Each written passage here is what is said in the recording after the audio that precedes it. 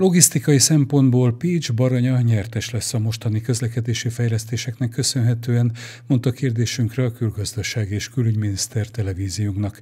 Stábunk a keddi Pécsi gyáravató után készített stúdióbeszélgetés Szijjártó Péterrel. A külügyminiszter azt mondta, hazai oldalon jól haladnak a határt keresztező utak építési munkálatai.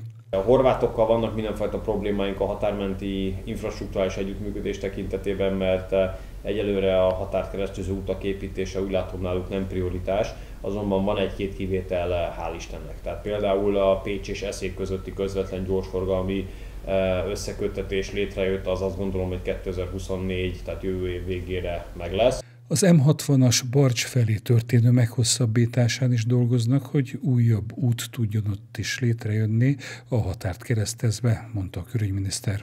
A mohácsi fejlesztések is tovább növelik majd a megye logisztikai szerepét a politikus szerint. A mohácsi eh, Dunahíd eh, építése kapcsán jó hír, hogy eh, rendelkezünk a tervekkel, rendelkezünk az építési engedélye, úgyhogy reméljük a gazdasági helyzet engedni fogja, hogy ezt a nagy beruházást is megindítsuk. Ennek a, a, az építési ideje az nagyjából olyan három esztendőt fog igénybe venni, de mivel a szervekkel megállapodtunk a Hercegszántói határátkelőhely fejlesztéséről, ezért gyakorlatilag a Mohácsi Dunahíd megépítésével Szerbia vajdaság irányába is kap egy összekötetést Pécs és környéken.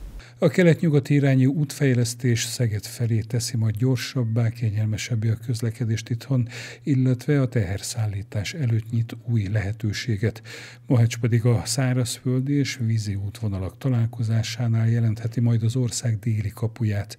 A miniszterrel készített beszélgetést teljes egészében Kerekasztal című műsorunkban láthatják.